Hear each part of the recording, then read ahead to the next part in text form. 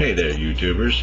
This is his Big Bear Ron. And I, I thought I would uh, join so many of you who have been asking us all some questions. And I thought I would ask you some questions. So here goes.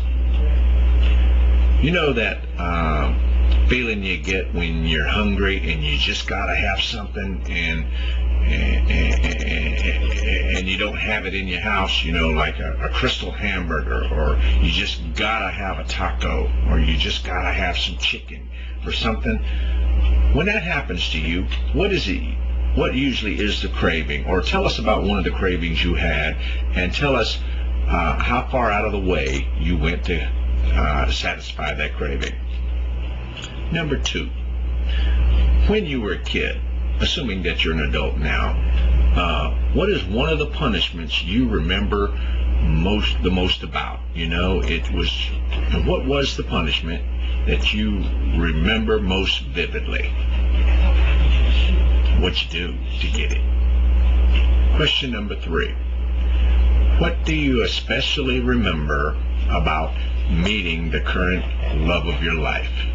What do you remember most special about the current love of your life? Tell us about that, will you? Question number four. Lately, what have you been most forgetful about?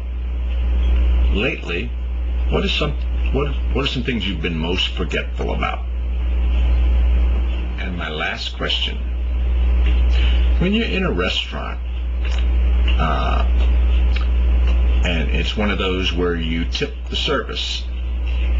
What are some of the things you look for that makes or breaks whether you uh, leave a tip or not? And tell me, uh, what are your tip averages? What what's the most you've ever tipped? And tell us about that service. And what's the least amount you ever tip? Tell us about one of those occasions too. And if you want to throw in a rant and tell us what you did when you received the worst service, tell us about one of those times too. Okay? I think that's about five questions. And uh, I'll do a separate video and answer my own questions later. But anyway, uh, have fun. Give me some answers, will you? Take care. Bye.